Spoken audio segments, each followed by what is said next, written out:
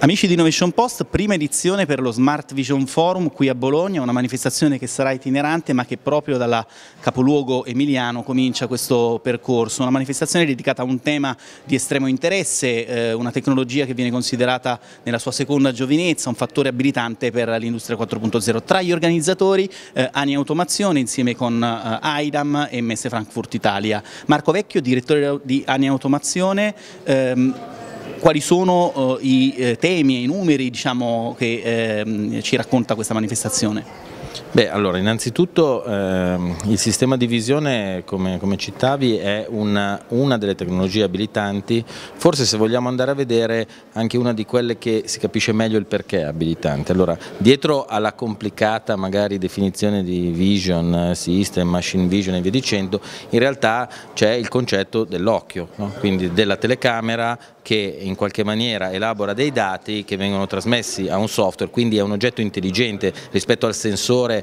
che tanto diffusione sta avendo all'interno dell'industria 4.0, eh, la telecamera ha un'intelligenza a bordo che gli permette di fare cose più sofisticate e quindi in un'evoluzione come quella che stiamo vivendo oggi dei processi produttivi è un elemento veramente chiave. Eh, il sistema di visione permette di misurare ma permette anche di identificare, eh, permette di essere una guida per i robot che altrimenti non avrebbero la possibilità di muoversi in un ambiente per esempio cooperativo. Ecco, eh, tutte queste cose che poi si agganciano a temi anche più alti come l'intelligenza artificiale e, e, via dicendo hanno fatto sì che le due associazioni coinvolte, AIDAM e ANI Automazione, appunto si convincessero del fatto che aveva dignità questo tema per un evento specifico. Ecco, Anni Automazione quindi rappresenta tra le due associazioni eh, la parte diciamo, di componentistica intelligente. Abbiamo dei valori di mercato di riferimento? Come è andato il settore nel 2018?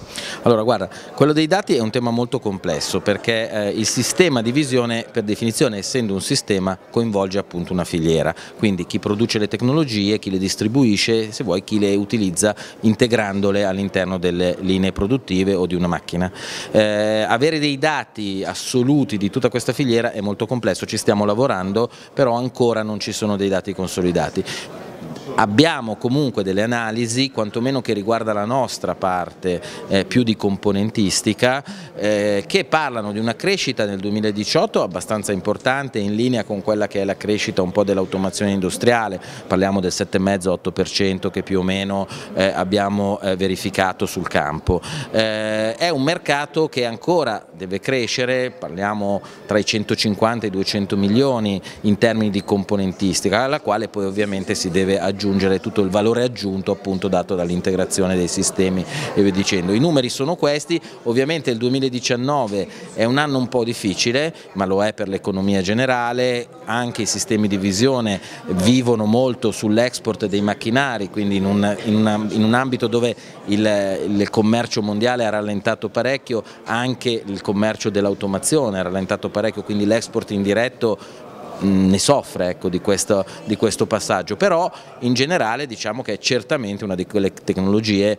che per sua natura e per la natura della trasformazione che stiamo vivendo è in crescita, indubbiamente. Questo del, del machine vision è un tema per il quale noi del settore lo riteniamo ovvio, però abbiamo, ci siamo resi conto che proprio sul mercato italiano mancava proprio un evento che diffondesse cultura sia a livello tecnologico ma anche di uso dei sistemi eh, di visione. In collaborazione con Agne perché entrambe le associazioni hanno dei problemi comuni, infatti la vera sfida è stata mettere insieme le due associazioni, noi proprio per la nostra capacità del fare perché noi abbiamo gli integratori che entrano questi machine vision e dall'altra parte proprio Agne sul fatto di creare la tecnologia del sistema di visione. Direi, visti i presupposti del come è iniziata la giornata, sarà una giornata veramente frizzante e di grosso successo. E come ho già detto anche prima è la punta dell'iceberg di tutto un percorso che ormai dura da due anni di collaborazione tra le due associazioni.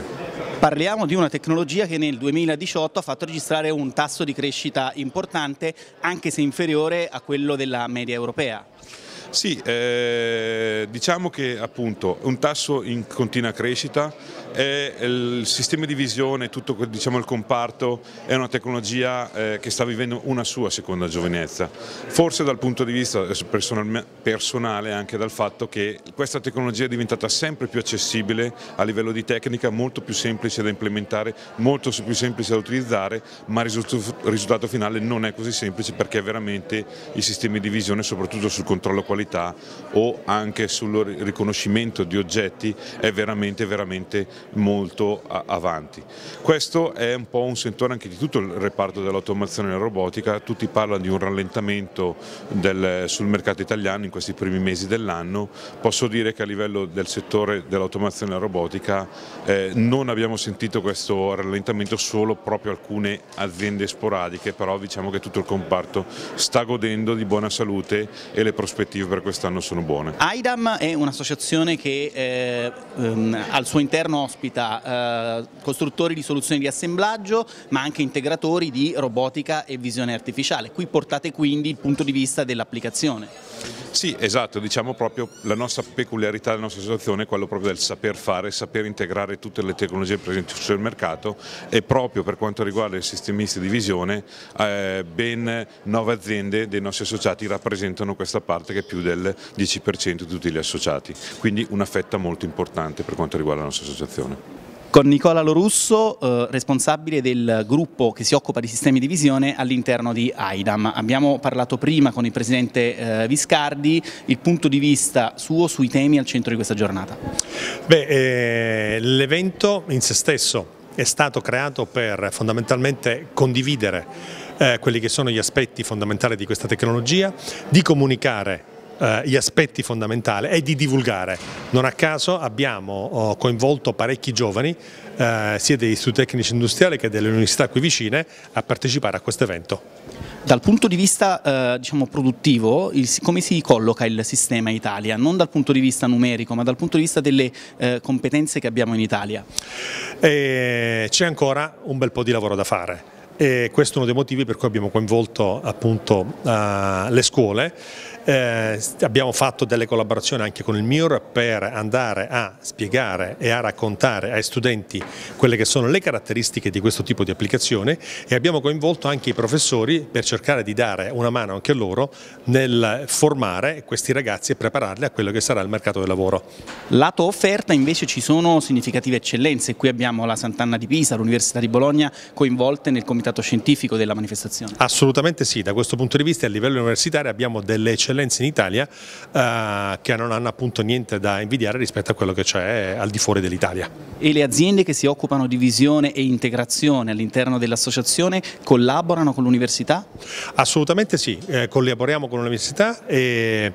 eh, collaboriamo in diversi modi, sia da un punto di vista appunto di eh, comunicazione e di interventi mirati eh, all'interno di quelli che sono i percorsi formativi, ma anche eh, da un punto di vista tecnologico facendo vedere e invitandolo anche nelle nostre aziende, facendo anche degli stage, a capire, a mettere effettivamente, a toccare con mano quelle che sono le evoluzioni tecnologiche. Quali sono a suo avviso gli scenari applicativi più interessanti per il futuro sia in ambito industriale che non? In ambito industriale sicuramente lo scenario uh, più interessante è quello della manutenzione predittiva, quindi uh, penso a uh, fabbriche che hanno dislocati in settori diversi la produzione, quindi riuscire a capire in maniera da remoto quali che sono le usure dei vari impianti industriali. Uh, in ambito non produttivo uh, mi viene da pensare, uh, soprattutto basandoci anche sulla, su quella che è lo sviluppo della tecnologia, quindi pensando a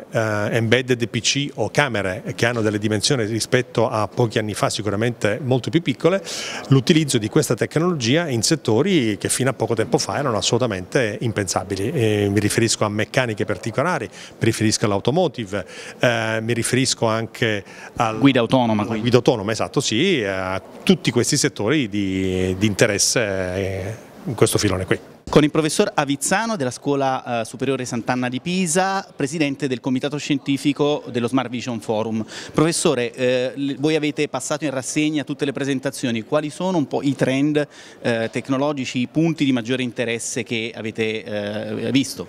Sì, eh, certamente la visione la fa da leone, nel senso che la, le tecnologie stanno passando una sorta di breakthrough, di cambiamento tecnologico in cui si è passato da una visione classica classica basata su analisi di linea è una visione aiutata dall'intelligenza artificiale che riesce a dedurre contenuti dall'interno delle immagini.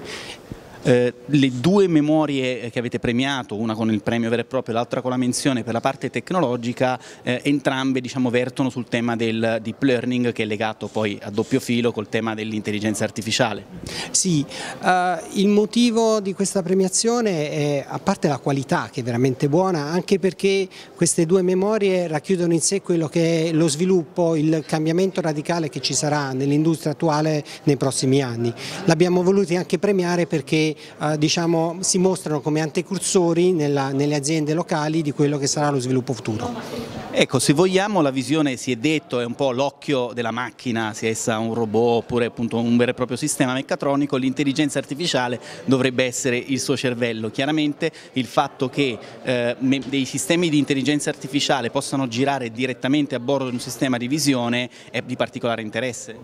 Sì, questo sicuro, ci sono tra l'altro delle presentazioni di aziende che faranno vedere come nuovi tipi di sensori integrano al proprio interno chip per l'intelligenza artificiale. L'altra cosa che bisogna dire è cambiata anche un po' la mentalità dell'accettazione dell'intelligenza artificiale perché si è sempre pensato che la visione fosse un qualcosa di eh, diciamo, infallibile in teoria ma poi che fallisse nella pratica. Ora l'accuratezza di un sistema di intelligenza artificiale può essere misurata e quindi comparata con quella che è l'accuratezza che può dare la lavorazione umana e questo ha dato diciamo, il, il là, il via a questo tipo di sviluppo. Professore un'ultima domanda, eh, la visione artificiale è una tecnologia matura perché esiste da tanti anni ma che come si è detto già oggi nella sessione plenaria sta vivendo una seconda giovinezza. Eh, concretamente si può dire che questa seconda giovinezza oltre che sugli aspetti che ci ha già evidenziato stia anche eh, in una uh, maggiore accessibilità lato tecnico, cioè più semplice da utilizzare?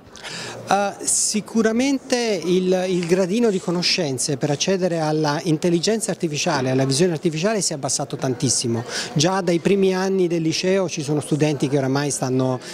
da noi si dice ruzzando, smaneggiando con, con questo tipo di sistemi. Avere qualcosa di professionale è qualcosa di più complicato ma sicuramente accessibile a livello di tecnologie disponibili nelle aziende adesso.